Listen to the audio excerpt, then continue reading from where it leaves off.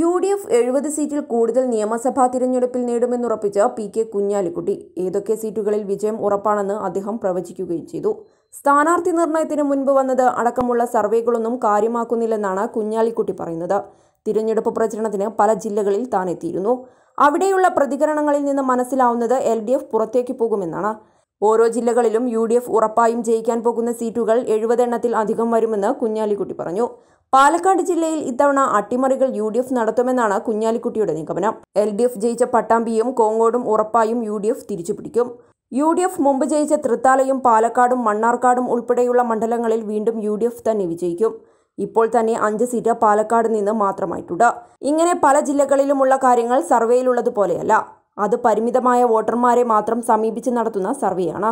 കോഴിക്കോട് ജില്ലയിൽ കൊടുവള്ളി ഇത്തവണ U D F തിരിച്ചു പിടിക്കും കോഴിക്കോട് സൗത്ത് നിലനിർത്തുകയും ചെയ്യുമെന്നും കുഞ്ഞാലിക്കുട്ടി പറഞ്ഞു. കോഴിക്കോട് നിന്ന് നല്ല ഒരു നമ്പർ സീറ്റ് ഇത്തവണ യു ഡി എഫിന് വരും. ഇങ്ങനെ ജില്ലാ അടിസ്ഥാനത്തിൽ പരിശോധിക്കുമ്പോൾ യു ഡി എഫിന്റെ സീറ്റ് നമ്പർ എഴുപതിനു മുകളിൽ എത്തുമെന്നും കുഞ്ഞാലിക്കുട്ടി വ്യക്തമാക്കി.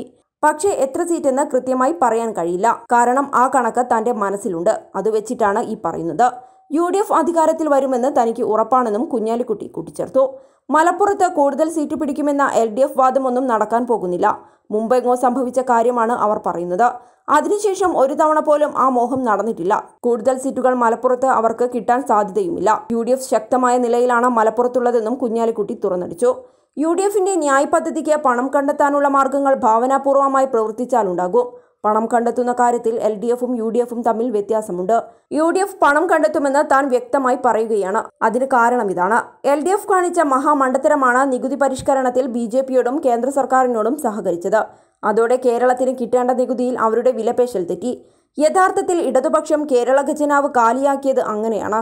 ഉമ്മൻചാണ്ടിയായിരുന്നെങ്കിൽ മന്ത്രിമാരെയും കൂട്ടി അവിടെ ക്യാമ്പ് ചെയ്ത് എല്ലാ കേന്ദ്രമന്ത്രിമാരുടെയും ഓഫീസിൽ ക്യാമ്പ് ചെയ്ത് കാര്യങ്ങൾ നേടിയെടുക്കുമായിരുന്നുവെന്നും കുഞ്ഞാലിക്കുട്ടി പറഞ്ഞു.